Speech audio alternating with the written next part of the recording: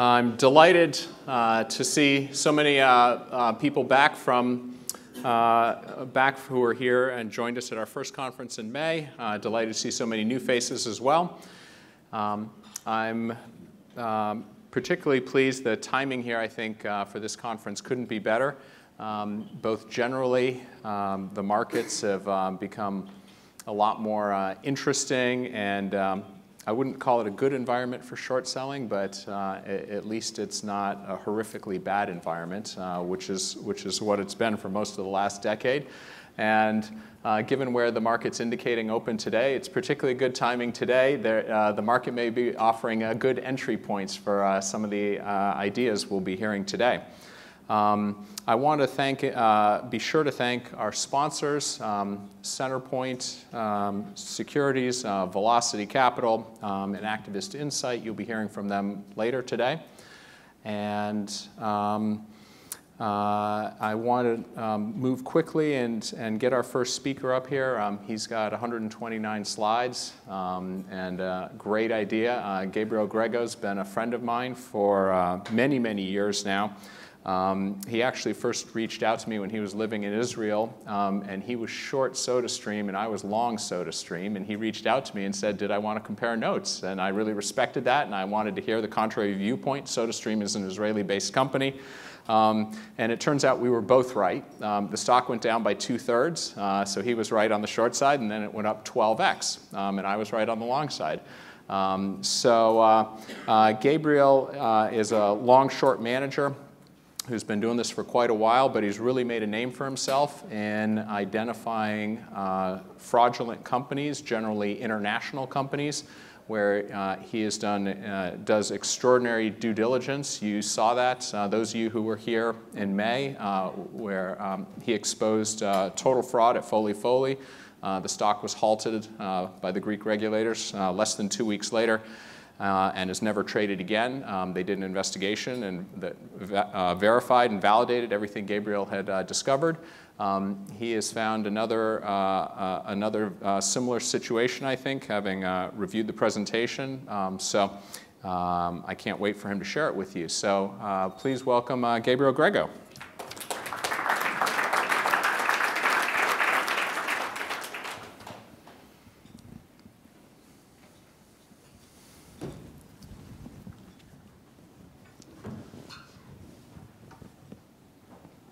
All hear me?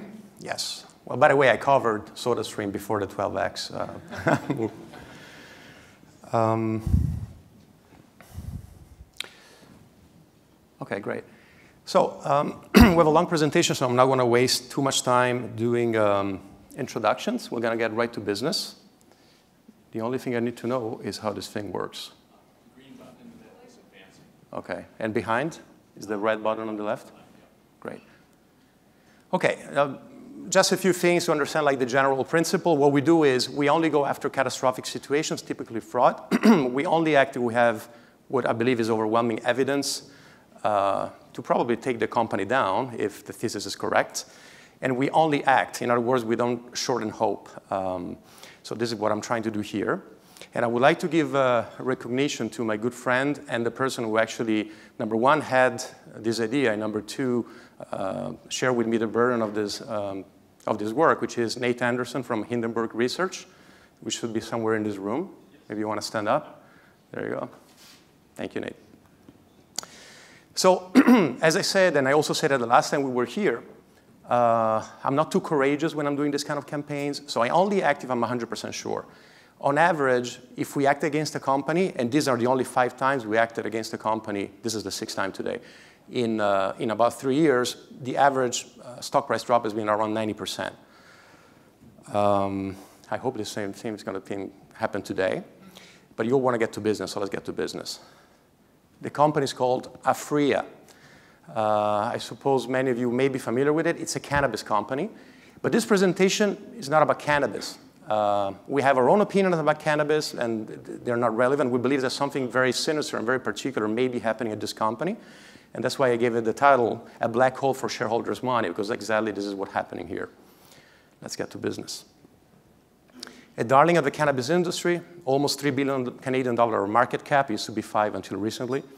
Uh, it's domiciled in Canada, but it recently started trading on the New York Stock Exchange. We'll see whether that will prove to be a mistake. Uh, sales, about $30 million. EBITDA, negative um, half a million, and price to sales ratio until recently was 85 times. It's now definitely a value stock. Uh, again, you can see the market cap versus sales. Sales are almost non-existent.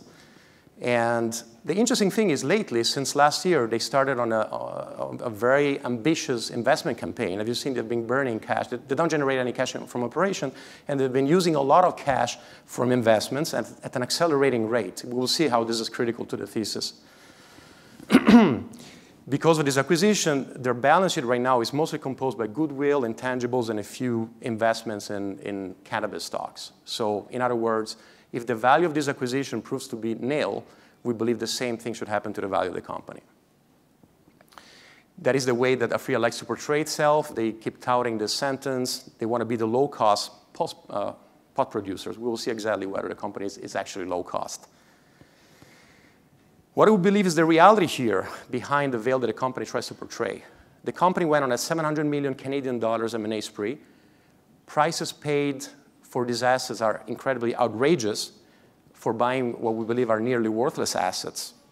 Acquisition have been executed by, with a bunch of shell companies, apparently unrelated, but we believe are secretly controlled and most likely owned by insiders. In short, we believe that Aphria beside being a company, is actually a scheme to funnel money from retail investors into the pockets of shareholders. These are uh, what we define as insiders. On the right, you see Vic Neufeld, which is the CEO of Aphria, and the chairman of Scythian. Scythian is the sister company of Aphria, which Aphria seems to use as its vehicles to perform the first of these double-dipping M&A. And the guy in the middle, that's a real photograph. With, you know, we took it from his Instagram account is uh, Mr. Andy DeFrancesco. He is a, a former broker and investment banker. And he self-defines himself as the architect of both Aphria and Scythian, is the person behind the reverse merger of both companies, and is now also the chairman and chief investment officer of Scythian, which is a sister company of Aphria. What do we believe is going on? In our opinion, money is funneled from retail shareholders into Aphria, which then buys companies from its sister company, Scythian, uh, which in turn takes over all sort of uh, companies in emerging markets mostly, but it doesn't take them over directly, but always going through these uh, shell companies, typically Canadian shell companies, which theoretically are arm's length transaction, but in practice, those companies, we believe, we will show you very strong evidence that they're actually related to the company's insiders themselves. So in other words, they open these companies, they make almost worthless acquisition in emerging markets, and then they use their own public vehicle to take themselves over. That is the thesis, that is our opinion. There is a prologue. So earlier this year, Aphria closed a deal of almost half a billion Canadian dollars to buy this company called Nuuvera. Nuuvera was nothing more than a bunch of non-binding letters of intents and was, was bought for half a billion dollars. Nobody almost even ever heard of the company. Hindenburg Research, which sits today right here at the table, uh, wrote a daring report on, uh, on this transaction, flagging some, some red flags. Number one, the fact that the company seemed to be almost worthless. And number two, the fact that it looked like insiders had bought himself personal stakes in the M&A target before they caused Aphria to take the, to, to take the company over. The Canadian press reported on it, and the thesis was validated. At the end of the day, the insiders admitted having shares in the takeover target uh, and didn't disclose it. The stock went down as much as 30%, but then went back up because of the uh, cannabis uh, boom that you saw this summer. Ladies and gentlemen, we're here to tell you that they are at it again. They're doing it again and in an even more blatant way with their Latin American acquisition. Only this time, I believe we caught them. They bought three companies, one in Jamaica called Marigold, one in Colombia called Colcanna, and one in Argentina called ABPSA. The company defines this company as leading assets in Latin America and the Caribbean. This is how the acquisition were performed. We saw before, Aphria bought them from Scythian, who bought them from these three shell companies um, in Canada. And these shell companies bought the assets themselves in these emerging countries um, just a few months before. The first acquisition we're going to review is a company called Marigold. Uh, they bought this company for 145 million Canadian dollars, about 120 million US. This is the press release when they bought the company. Uh, they're proud to have received all these licenses from the Jamaican Cannabis Licensing Authority. They believe they have a team with cutting edge science and a prestigious management team uh, led by this guy, Lloyd Tomlinson, who will continue as managing director of the company. Great, that's what they say. What's the reality? We've been on the field. We looked for this company inside and out. Uh, we saw the infrastructure. We dig very deeply into the official filings. We sought out the directors. Uh, we checked out the residential address and so on and so forth. Um, and we will show how the reality is quite different. First of all, when the company was acquired, very little was disclosed about it. There was not even an address. Uh, there was not even a website. We found the registered address of the company by looking at the official filings. You can see right there, the company is located on 28 Lancaster Road in Kingston, Jamaica. And of course, we visited. That's myself. That's right in front, uh, 28 Lancaster Road. And that is uh, what is supposed to be the registered address of a $150 million company. From outside, it looks okay, a bit residential, but maybe passable. And I'd like to stress that this was taken uh, at 10 a.m. in the morning in the middle of a working day. I think the pictures speak for themselves.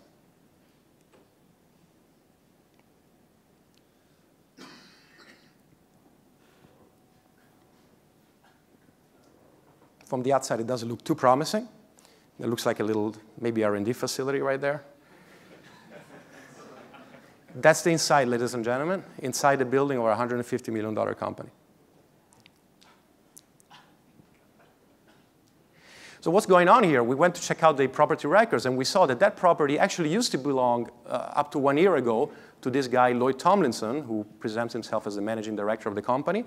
The property was foreclosed by CIBC Bank, and would then force sell to the Jamaica Music Society, which has nothing to do whatsoever with Marigold. Those are the official findings. We uh, copy pasted for you.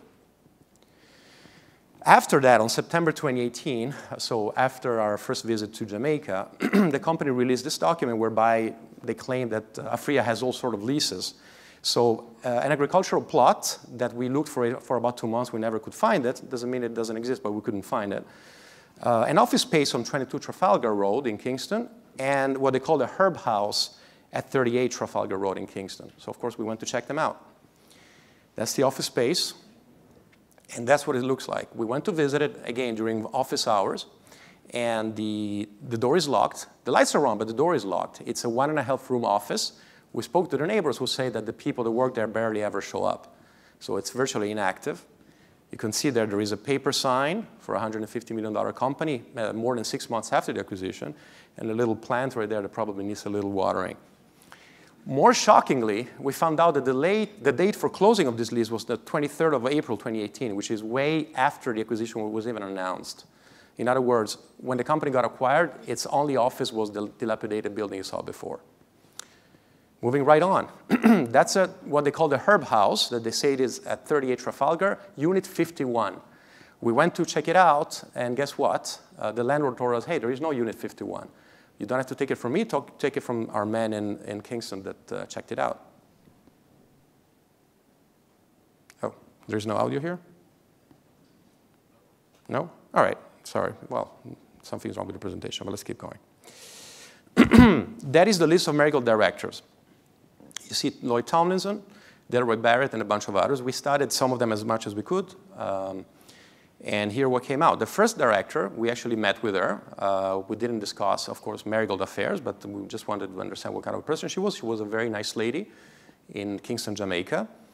That's myself right outside of her office. I sat a couple of times with her for a couple of hours. Uh, and uh, guess what? She said that she never uh, ever even served on any corporate board, let alone Marigold. And she even signed a document, you see right there, that's her passport, where she denies in writing ever serving on a corporate board and not being affiliated with any company except for the Jamaican Stock Exchange uh, Best Practices Committee. There is no mention on Marigold whatsoever, even though you can see that on the top right, uh, that uh, document was taken from uh, Marigold official filings. That's her signature as a director of Marigold. Take your own conclusions.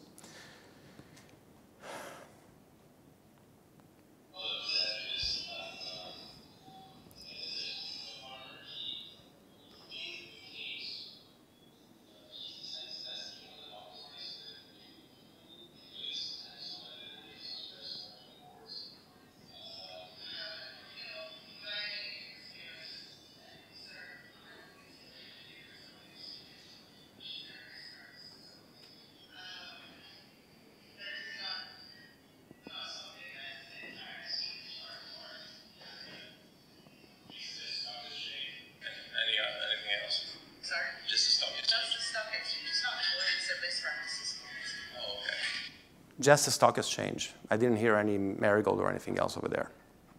Moving on, the managing director, Mr. Lloyd Tomlinson of Marigold, which is also director, you can see that on the official filings, he write down that his residential address after the property was repossessed, according to the information we saw, was actually the dilapidated building that we saw before. So both Marigold and his CEO are supposed to, to live in that place. Moving on, we have this other director called Mr. Ray Anthony Chin, who calls himself a genetic engineer living on number seven Norbrook Crescent in Kingston, Jamaica. Of course, we visited the place. That's myself in front of number seven Norbrook Crescent in Jamaica. I spoke with the tenant. There is no mention of any Ray Anthony Chin. Nobody ever heard about him. Maybe he was living there before, maybe not. Moving right on. He's a really a genetic engineer. There is no LinkedIn page, no trace of him in any university, no social media present, no ResearchGate, nothing whatsoever. A mystery cutting edge scientist, apparently. Let's keep going. Next director, Mr. Bill Dina, who calls himself on the documents an engineer. We couldn't find him anywhere. The only trace of him we found is on this web uh, LinkedIn page that lists a person with the same name as a student. No engineer here. So directors that uh, douse on their residential addresses, on their profession, and they deny their involvement with this company. This is a free press release where they're boasting about receiving this prestigious and hard to get, probably licenses from the Jamaican authority. Uh, which, you know, since the company doesn't have an office operation or prestigious directors, maybe is, the, is what is justifying a $150 million valuation. So what did we do? We went to check out and spoke with the people at the, at the Jamaica Cannabis Authority. I spent with them a couple of hours and asked them, what's so special about these licenses? The answer, nothing. They already gave out, by the time of this acquisition, already 80 of them, 22 final ones. How much does it cost? $500. How long does it take? Less than six months. Is it given only to exceptional people you know, with incredible scientific achievements? No. They get given to everybody automatically as long as you don't have a criminal record and you're in good standing. More worryingly, Mr. Tomlinson foolishly gave an interview to the Gleaner, which is the major Jamaican newspaper, where in this interview he seems to say that they're still waiting for final licenses. In other words, they only have conditional licenses with which presumably they cannot produce because they're not producing anything. They don't have any open herb houses yet and no production. Finally, we can see the uh, comparable transaction of this company. So a lot of Canadian companies, some Canadian companies went to Jamaica and bought themselves a local producer. We only found overall four transactions, including, including Marigold. Two of them went out for 10 million uh, US dollars, and uh, sorry, Canadian dollars, one for two and a half million. The R&D Pharma transaction is very similar to, uh, to the one we just saw, to Marigold. In other words, they're buying uh, licenses and, and, a little plot, plot of land, apparently. So when the other Canadian companies buy a company in Jamaica, even by the crazy cannabis standards of today, they pay from 10 to $2.5 million. But if Aphria buys a company, they pay 150 million almost. What's going on? Is it just a case of really bad management or there is something more going on? Because they're spending 145 million for no sales, no assets, no operation, and only conditional licenses. Where did the money go? Well, you need to follow the money to understand. You can see over there the flow of money, uh, but in chronological order, we believe that insiders, they basically shop around uh, emerging countries. But they buy themselves uh, what is a nearly worthless asset or a very small company for themselves, for companies they themselves control, and then they cause first Scythian, a public company we believe they control, and then Aphria to take them over at increasing prices. For example, in this case, the shell company that seemed to have been used is called Marigold Acquisition. You can see it there in yellow. Here you see the, uh, the timing of all the transactions. You see Marigold Acquisition turns up in the official press release by Scythian when they originally, when they originally announced the M&A. The name of the company, again, is Marigold Acquisition. And here we're going to show you the first of many smoking guns of this presentation. Who is behind this Marigold acquisition? Is this uh, transaction arm's length? Because no insiders ever disclosed their involvement with this company. Marigold Acquisition, ladies and gentlemen, was actually called Delavaco Ventures. What is Delavaco? Delavaco is the personal investment bank of the guy you see on the right that we saw earlier, Mr. Andy DeFrancesco, um, who is behind both Aphria and Scythian. He's currently the CIO of Scythian. He's the person who engineered all the financial deals. And you see that they actually changed the name of the company from Delavaco Ventures, Delavaco is the name of his personal company, into something neutral like Marigold Acquisitions, in our opinion, to hide the fact that they're involved, that an insider is actually involved in the company that they're just selling to their public parent. We saw also some other warring traces. This Marvin Eigelman and Clifford Stark were given, almost given, the same stake that was later purchased by Aphria for $150 million about a year later um, at the price of one Jamaican dollar per share, a total of 100 US dollar for half that company. This is the official findings that seem to suggest this. Who are these people? Well, these people look very suspiciously close to Delavaco and De Francesco, uh, resident in Canada. This guy, Marvin Eigelman, worked for many years under De Francesco as Standard Securities, and he had an active role in many deals that were backed by this Delavaco. Similar story for this Clifford Stark. Moving on, the next acquisition, $84 million acquisition of Colcanna, a similar company, this time in Colombia. This is the press release where they say that, again, they bought this, this company, not directly, but through a Canadian shell company, this time called MMJ Colombia. We'll get to this later. This company at least has an office, has a presence. Of course, we visited the office and took photographs from the inside. It's not exactly what you would expect for a hundred almost million dollar company, but you know, there are people working there. We cannot say the same about the infrastructure and the plot of land that don't seem exactly state of the art. More worryingly, at the time of acquisition, the company didn't have licenses yet, and they even wrote it on their website. They said they were still waiting for the licenses. This is the official filings, which show that number one, the company was established only three months before the announced M&A deal, and it had zero sales and pretty much zero assets right there in the official filings. So we asked around some people which are familiar with the Canadian cannabis industry and with Latin American reality. What do they say? Quote, at the time of purchase, Colcanna didn't even have a license. You shouldn't view the Colcanna deal as representative of values because it's a very stinky deal. What does it mean by that? Source number two, quote, I don't think Colcanna is the one of the four companies approved to do characterization, which is a necessary requirement for cultivation. If the company doesn't have it, then it's a huge red flag. Moving on, this time we found plenty of comparable transactions. Pretty much every large Canadian player bought themselves their little corner in Colombia to produce local cannabis. On average, the price paid per hectare of land uh, was about 900,000 uh, Canadian dollars.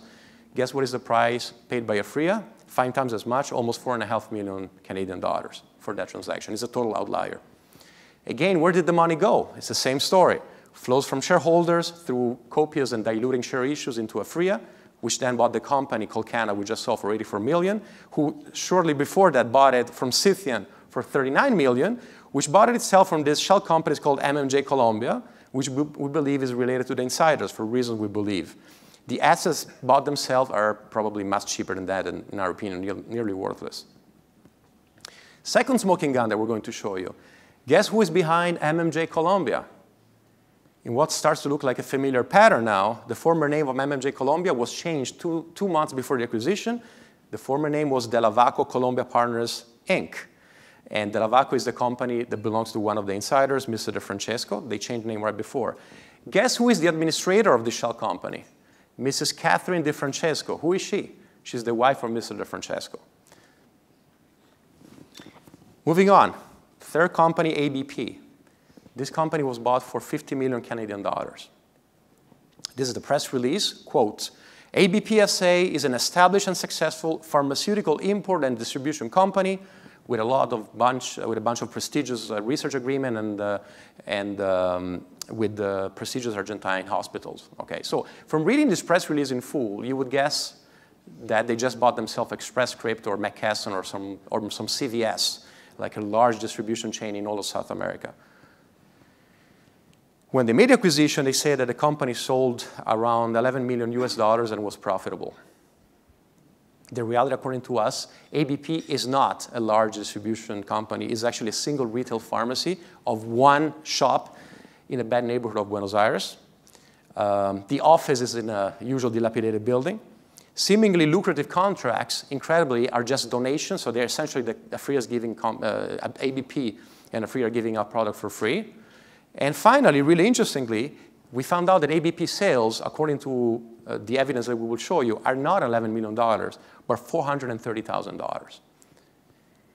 Ladies and gentlemen, welcome to ABP SA.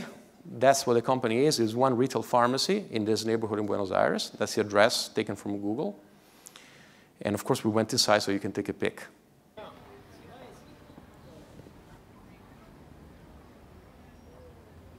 One pharmacy, much smaller than your local CVS, for $50 million. That's a receipt as a proof that we visited the place with the name of the company right there. This is the office on Juan Carlos Gomez 68. is another area in Buenos Aires you probably don't want to go at night. Um, it took us two visits just to figure out how to get in. You will see that there is a door right next to that tree. That's, that's actually the entrance. There is no sign whatsoever, no intercom, nothing. Of course, it would have been nice to visit the facilities and to visit what's actually inside the company, the office itself. And so that's exactly what we're going to do now.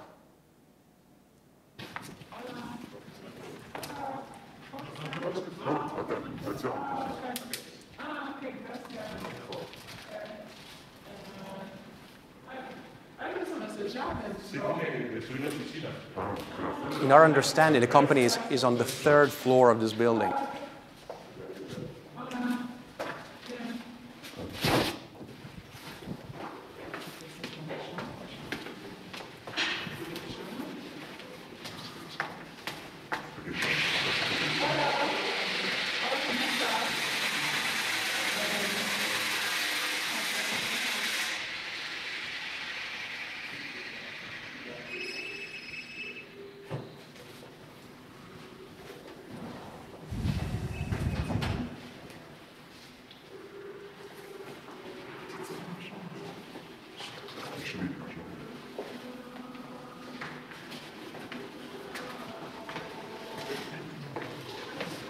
That's it.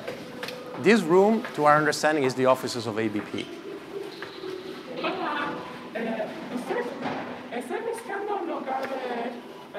A bunch of janitors, one chair, one PC, and a few cardboard boxes for a $50 million company.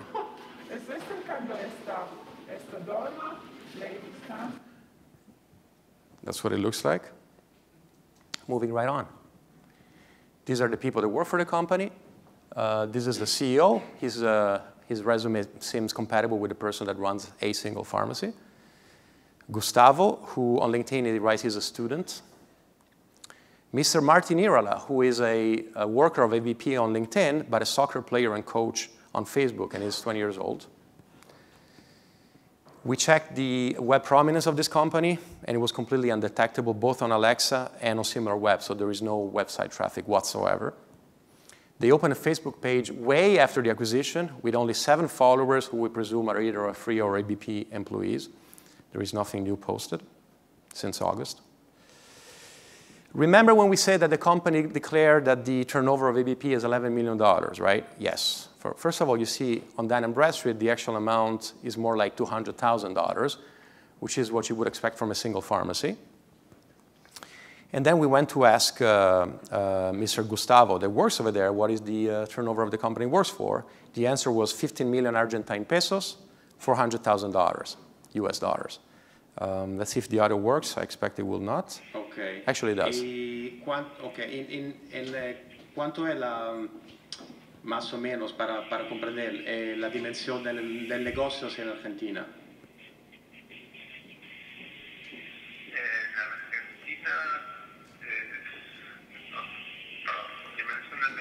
Sí, la, la, ventas, tú, la ventas para un orden de grandeza, por, por comprender. So, eh, 100 mil dólares o 5 millones, no sé, más o menos. Y actualmente serán aproximadamente unos 15 millones de pesos argentinos. 15 millones de pesos argentinos. Sí. Okay. For those of you who don't understand Spanish, 15 million Argentine pesos is $400,000 at today's exchange rate. Next, they touted a lot, as much as they could, this uh, deal with the Garrahan Hospital, a prestigious pediatric hospital in Buenos Aires. You can see it in the photograph. This is the press release where Scythian, again, the sister company of Aphria, which first took over that shell, is boasting about having closed its first purchase order with this, with this prestigious hospital. You see there the, the word purchase order that appears twice. Guess what, though? A press release, this time in Spanish, from the Garrahan Hospital says that it's not a purchase, but actually that Aphria will donate, Aphria from Canada will donate the drug to the hospital. So which is which? Are, are, are they buying or, or is this a donation? So we went to ask to the Garrahan Hospital. You can see there myself speaking with Mr. Schiaffini, who is the Department Chief of Communication for the Garrahan Hospital, who says, yeah, it's a donation.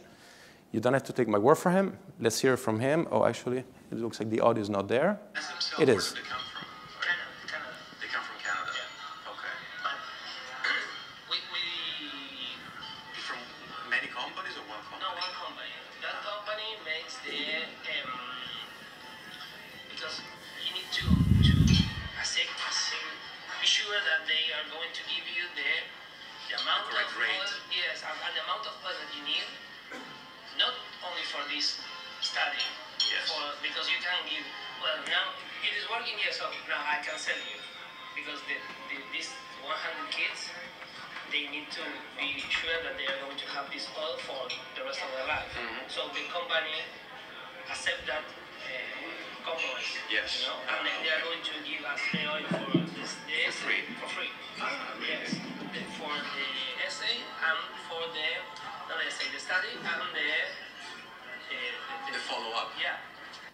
In other words, Aphria is donating them the money for free for a lifelong longitudinal study of 100 kids which suffer from epilepsy. They're going to have to give them all for free, uh, pretty much for all of their life. Um, the hospital is very grateful for the generous donation, courtesy of Aphria shareholders, but they say that they are being bugged all the time by Aphria that keeps calling them to issue press releases about this transaction. Moving on. So Tilray, which is not exactly a value stock, just bought themselves a very similar company uh, with a similar rationale, uh, a pharmaceutical, a bunch of pharmacies in, in Chile, which with presence in South America, for 5 million Canadian dollars. This company, we checked it out, is called Aleph Biotechnology. It has sales of $1.3 million. So how does it work? Tilray, uh, not exactly a cheap stock or one known for its uh, frugality, buys himself a 1.3 million turnover pharmacy and they pay $5 million. Uh, Aphria buys itself a $400,000 pharmacy and they pay uh, $50 million. So one pays four times sales and Aphria pays 113 times sales. By now you probably understand what's going on here. Uh, guess which shell company was, was bought. Uh, MMJ International is the shell company that was used to make this acquisition.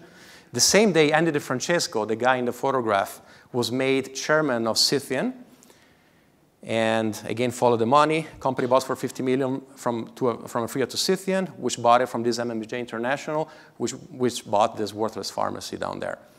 Again, we believe that behind MMJ International is Mr. De Francesco and its Delavaco private investment group. Another smoking gun. MMJ International was formerly called Delavaco MMJ International. The company changed name exactly two months before the acquisition. Another Canadian shell. Uh, obviously, I mean, it seems to us as though these are attempts to hide the, you know, the involvement of companies insiders into this deal. In case you're not 100% convinced, we'll show you another uh, private Instagram photograph of uh, Mr. DeFrancesco, who is boasting two days before the acquisition was announced from Scythian of having just bought for himself and his Delavaco group a pharmacy in Argentina while holding a pack of condoms and what we believe is a box of uh, generic Viagra in the other hand. you can see there Andy Francesco and Delavaco group. He says, I just bought my first pharmacy in Argentina. He even hashtags greed is good. Again, this was two days before the acquisition was announced. Of course, it doesn't say that this pharmacy is ABP. It says a pharmacy in Argentina. Maybe it's something else. Wrong. That's a photograph taken by myself from a different angle. You can see very well the black chair on the white panel under the window. On the right, you can see the black chair on the white panel under the window. Ladies and gentlemen, that is ABP. He just buys a pharmacy for himself, then sells it to Scythian for $50 million, to, uh, to Aphria for $50 million. So what did they buy for 736 million Canadian dollars? Well, a bunch of assets as you saw before. Uh, mostly dilapidated building, health licenses, and so on, and, and single pharmacies. Who is this De Francesco guy which seems to be behind this whole game? Well, he was integral to the formation of Scythian and Aphria. He's been orchestrating the reverse mergers that took them public. He's the founding investor, Serpol Crane founding investor, and special advisors to both companies, leading all the financing rounds, currently serving as the chairman and CEO of Scythian, and the CIO of Delavaco Group. Interestingly, if there's not enough evidence to see that this guy is an insider, Scythian address, corporate address, is the same place as his personal company address, Delavaco. And this is a screenshot we took from his website. He removed this part, obviously, later on, but we, we got it on the time back, Wayback Machine, where he calls himself the founding investor to Aphria. Therefore, for all practical purposes, one of Aphria's insiders. What do the Canadian regulators think about this character? Quote, he was deceptive and had little regard for truth. This is a complaint about Andy DeFrancesco, about actually a guy called um, Bobby Genovese, which we will see shortly, and also his relationship, relationship with Mr. De Francesco by the, what we understand is Canadian equivalent of the SEC, was deceitful, was deceptive, little regard for truth. Who is Bobby Genovese that shares with him this complaint, apparently? Well, a person charged with fraud, Another interesting association is with the guy called Barry Honig, which I'm sure at least half of the people in this room know very well who he is. You can see him stepping off his private jet. Um, the SEC charged him for uh, manipulation and pump and dump schemes. You can see here too, microcap fraud schemes. Why do we believe they're associated? Well, they show up as shareholders in similar companies. For example, Riot Blockchain that collapsed 95%. Um, my friend Hindenburg wrote a very nice report on it. and uh, he was also, through apparently uh, his company, a, an active investor to this riot, ousting the previous board of directors and replacing it with people with, which shortly after was were all uh, alleged by the SEC to have committed market manipulation. But we will show you another smoking gun if somebody has doubts whether Mr. De Francesco and Barry Honig are deeply associated. Delavaco's address is right here on 2300 Las Olas Boulevard in Fort Lauderdale. That property is owned by a company called Las Olas Sunset Bay. Guess what? Guess who manages this Las Olas Sunset Bay? And this is another smoking gun we're going to show you. The sole managers of Las Olas Sunset Bay are Mr. Barry Honig and Andy DeFrancesco. Moving right on. Evidence from field sources. Well, we spoke to a lot of people in the industry and we asked them, hey, I mean, th this is really strong evidence. Are we dreaming or there is something here? This is what they say. And I quote, from a private equity investor with experience in Canada and Latin America. There is no way that ABP and Colcanna are worth $90 million each. There is something fishy going on. And another one. They have historically had their hands on a lot of companies that get vended into Aphria, and rumors are that this is what happened here.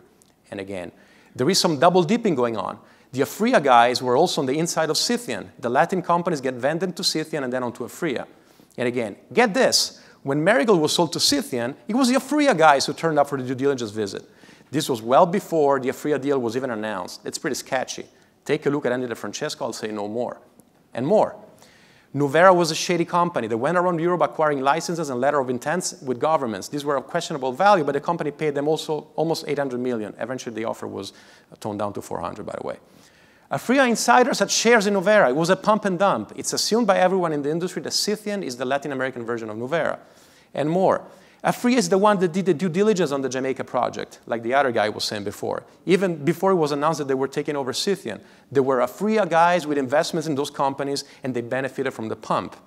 And damningly, quote, insiders had positions in Scythian, and they dumped it onto Aphria shareholders. Another name you should look into is Andy DeFrancesco. He's the guy rumored to have put the whole thing together. Finally, we heard a lot of rumor that the, the quality of the, uh, of the merchandise is of questionable quality. So we spoke to a former worker, a factory floor worker, who basically told us what is the condition on the factory floor. And I quote, a lot of people who are running the shows are young, they don't know what they're doing. We're constantly running into errors and not passing audits with Health Canada and having issues with bugs. It kind of became like a circus. There is a huge lack of communication. It's getting worse and worse. We had a lot of issues with mold, and right now the facility is infested with bugs. Every single room that has product in that Leamington facility right now has bug problems. To sum up Aphria, you're talking about a almost $3 billion company with virtually no sales, assets acquired at absurd valuations, extensive evidence of insider transactions, likely to have to take a giant write-off because that, uh, that balance sheet, that goodwill and the intangible that they bought are, are the companies, are the dilapidated buildings that you saw before, which don't even belong to the company, by the way. So we're pretty confident to say that the target price for this Aphria is zero. Thank you very much. Happy to take questions if we're not too late.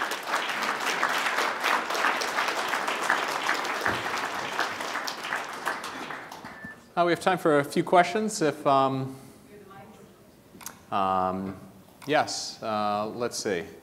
Uh, Glenn, go ahead. Um, okay, uh, wait for the microphone, Glenn. Someone's coming.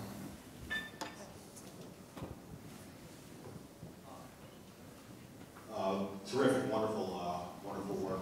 Does the company, in the absence of all this nonsense, have any book value? Does it have any cash, any debt, any uh, anything that that would put its value above a zero in, in addition to this? Well, they, they have uh, some production facilities, which for this industry mostly means uh, greenhouses in Canada. Uh, they have cash because they keep uh, issuing shares all the time. So they have some cash which is raised by those shares. I'm sure they spent a lot of it in, in these latest transactions. We'll, we'll see it in the next earning report. Uh, so the company is not leveraged. In other words, I don't think we'll have cash issues immediately. Uh, but I, don't I, wouldn't see anything else that would justify not even anything close to this value. Again, sales are uh, about 30 million Canadian dollars uh, for a market cap of 3 billion. Uh, right up front here. Oh, someone back there, and then we'll go up front. Go ahead. Terrific uh, presentation. Uh, I think the stock's down 30% in the pre-market, uh, just as an indication. So when you were in Jamaica, did you try to get a license yourself? Was it that easy to get a cannabis license? Uh, well, I probably could not have taken a license, uh, even though I went over there to inquire how does it work. The reason is those licenses are given only to Jamaican people, citizens, or even Jamaicans living abroad. So no, the, the answer is I went there, just asked him some question and, and told him that I wanted to learn how it worked. Right up here. Hey, uh, question. So about a month ago, maybe two months ago, there was a story in the Canadian press that said that Altria was actually looking uh, to invest in this company. Yes. And I was wondering, during the course of your due diligence, did you actually speak to Altria? Uh, was there any truth to this? Did they do due diligence? Did they see the same things that you had seen? Uh, were they some of the sources that were up there mentioned? No. Uh, well, first of all, we did not seek out, of course, Altria because it probably would not have been legal.